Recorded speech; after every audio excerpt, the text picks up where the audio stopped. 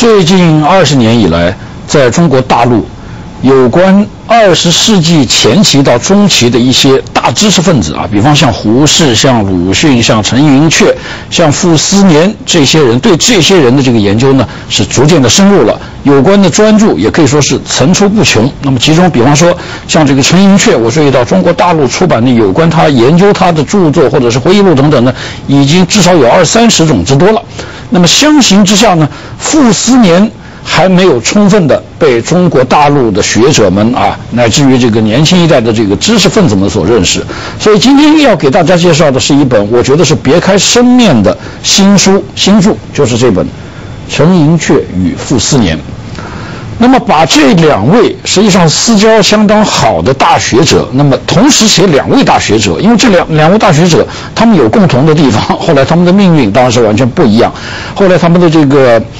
所以呢，把这两个人联系起来写呢，我觉得是别别开生面的。为什么？因为他们共同的反映了，就是中国在这个从特别是从二十年代一直到七十年代这个中国政治风云的变幻。中国知识分子命运的沉浮啊，那么这两个人呢是很有代表性的，而且最重要的是，这两位都是很有风骨的大学问家、大学者。虽然他们的这个性格又完全不一样，所以把两个人物并列来写，那么这样的一个传记，这样的一种也可以说是一个研究的这个专著呢，啊，对我来说呢，就是就是读起来是非常愉快的一件事情。那么这本书呢，是中国的一个比较年轻的作家，一九六二年出生的一个作家，越南写的。是由北京的这个啊，是由陕西师大出版社出版的。我们知道，这个中国有两个师范大学的出版社，近年来都出了不少好书。一个是广西师范大学出版社，一个就是这个陕西师范大学出版社。那么这本《陈寅恪与傅斯年》呢，一共分成十五章，大概有二十几万字。那么它书上它没有说明这是一本什么体例的书，你可以说它是一本传记，你可以也可以说是一本学术著作，因为这本书的十五章每一章的后面呢，它都有大量的脚注，说明了它这个出处啊，这就跟一般的我们说的那种啊带有这个文学色彩的这个书籍是不一样的。那么这本书里面呢，我想我首先来说一下这本书里面所介绍的这个傅斯年，因为傅斯年在中国大陆还不为人们所熟悉，因为他是当年毛泽东曾经批评过的胡适啊，傅斯年，所以呢，这个在一九四九年之后呢，可以说傅斯年就已经从中国大流大陆的这个出版物当中就已经消失了。当然，这个近几年来，人们开始逐渐关注到这位在二十世纪的前半期中国的文化建设、中国的学术建设啊，特别是像这个清华大学的这个建设发挥了非常重要作用的这位大学者。因为跟这个中国，我们知道这个大部分的学者呢都是南方人啊，像胡适他是安徽人啊，像这个陈寅恪是江西人等等啊，很这个例子太多了。著名的文人学者大部分是南方人，而傅斯年先生他是山东人。啊，这个这本书的作者越南先生，他也是山东诸城人，是江青啊张春桥的这个同乡啊，呃，这个当然是题外的话了。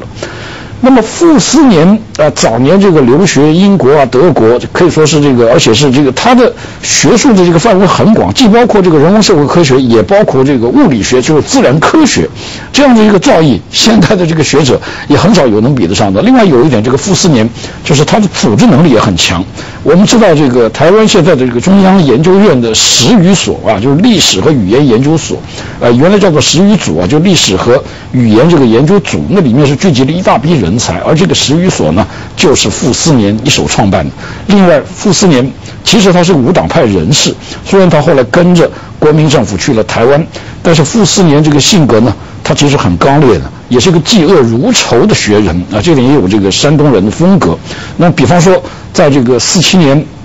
能够扳倒先后这个扳倒这个宋子文啊。就是傅斯年当时利用了这个利用像《大公报》这样的民间的独立媒体的这个力量，啊，发这个形成了一个强大的舆论，迫使蒋介石罢免了这个宋子文。那么这个在民国历史上其实是值得大书的一笔，大书特书的一笔。从这里可以看到傅斯年的这个风骨。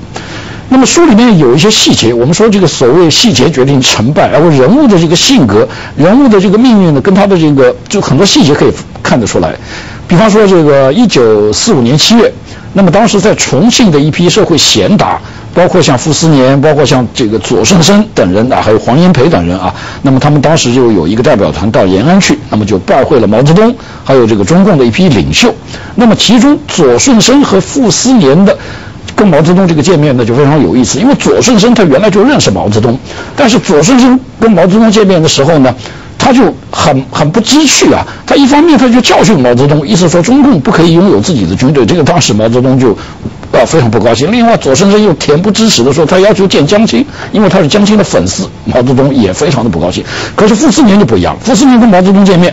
因为当年傅斯年在北大，他就是五四运动的领袖。毛泽东当然认识他，但是傅斯年他是有这个知人之明的，他已经看到了毛泽东作为中共这个领袖正在一个上升的这个。态势，所以他们见面的时候呢，傅斯年跟毛泽东就开玩笑，他说我们啊，因为就在国统区的这批知识分子，因为他还是亲国民党，他说我们是陈胜吴广，你们是刘邦项羽，啊，毛泽东听了这个话，他就很受用。后来呢，傅斯年向毛泽东求字，毛泽东就给他写了一幅字啊，这幅字其实很呃，后来在中国大陆也很有名，文革当中很有名的，就是这个唐朝诗人